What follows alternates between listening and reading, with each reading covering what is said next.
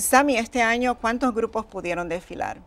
Este año teníamos más de 80, de 80 este, eh, grupos participaron.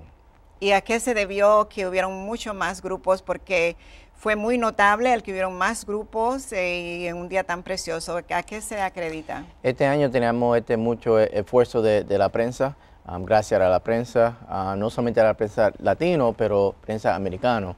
Um, teníamos mucho esfuerzo por ello, apoyo de, de ellos.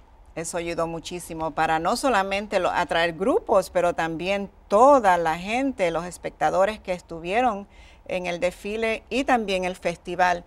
Eh, Sami, ¿cómo un grupo eh, participa? ¿Qué es lo que deben de hacer? Hay un proceso, tenemos estas reglas. queremos que cualquier grupo, todo el mundo está invitado para participar en el desfile puertorriqueño, pero más que pedimos que, que, sea, que traigan algo cultural.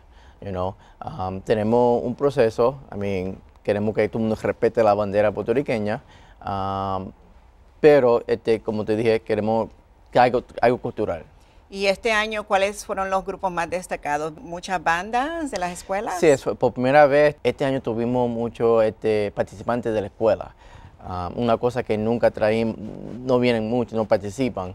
Um, pero gracias a, la escuela, um, no solamente a Hartford Schools, pero escuela de New Britain, de todos los eh, pueblos alrededor que vinieron. Que fueron representados los vejigantes. Vejigantes um, son una cosa de Puerto Rico, gracias a ellos por venir. y también una cosa que me encanta también son, fueron los caballos paso fino.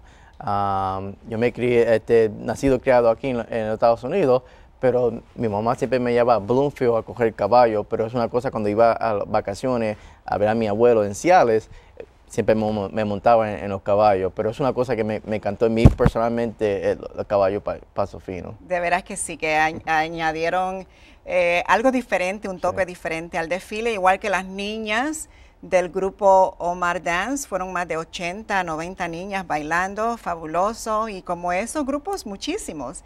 Eh, ¿qué, qué, metas tienes para, para el 2016? estoy, estoy ready. ¿Está listo? una, cogí una semana libre, pues ya estoy pensando y tengo el comité ya tan hambriento de, empezar otra vez. pero tenemos planes que podemos hacer eh, para el año que viene. Va a ser más y esperamos más de 100 este, participantes este año.